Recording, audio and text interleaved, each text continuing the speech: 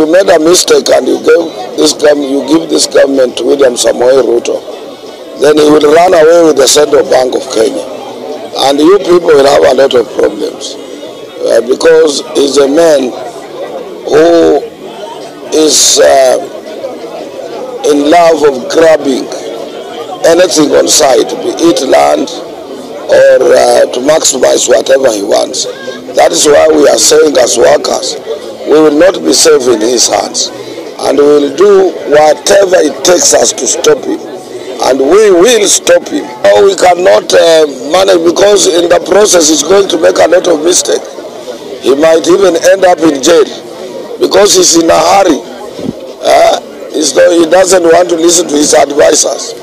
And uh, the amount of money he has wasted, if he will be told that he has not won elections, uh, then it will be suicidal on his side. So people must be around him during the announcement of elections to protect him from taking suicide, taking his own life. Uh, watu wawe karibu na yeye, miti kama iko karibu ikatwe, cause, jamaa atajinyonga. Uh, hiyo kwamba